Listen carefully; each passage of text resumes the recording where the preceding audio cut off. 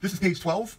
It's conic sections in a nutshell. Um, the reason I throw the note for conic sections into this pre-calculus slash calculus, calculus notes is because this here, shape, the ellipse, is the reason why Newton invented calculus. He was trying to calculate planetary motion, and the orbits of planets are elliptical around the sun.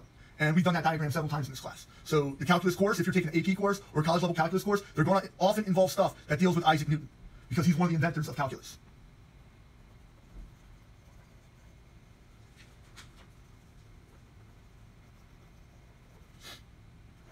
So the conic sections in a nutshell, I'm going to list, and this is only my opinion, the four conics. Now some people say there's only three because they'll consider the circle and ellipse a special ellipse. But I'm going to say there's four conic sections, from easiest to most difficult.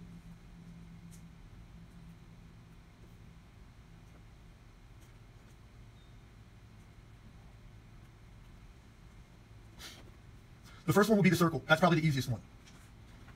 And I'm just going to give the basic formula for it. x squared plus y squared equals r squared. the calculus equation for that would actually be y equals the square root of r squared minus x squared.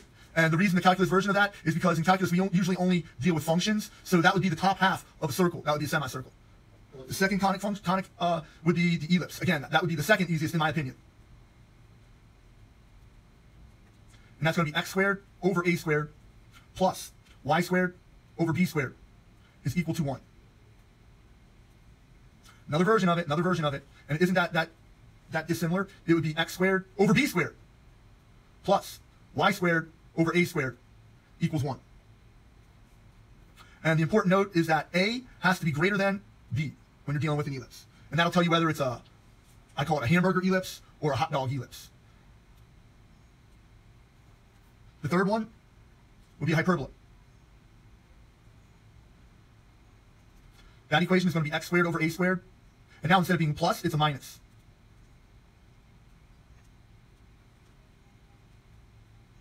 Also set equal to 1. Now, the other version of this would be y squared first. When y squared comes first, um, it changes the orientation of the graph. Um, when x squared comes first, the graph is going to be orientated like this. When y squared comes first, the graph is going to be orientated up and down. The fourth most difficult one, yes, is the parabola. A high school equation for a parabola is the vertex form equation, where a is the leading coefficient, minus h, h is the, the x value of the vertex squared, plus k, where hk is the vertex. And that's called vertex form. Now here comes the college equation. y equals 1 over 4c. And c is the distance from the vertex to the focus. This is a little tricky. This is a little tricky. And then it goes back into vertex form, x minus h, the quantity squared, plus k.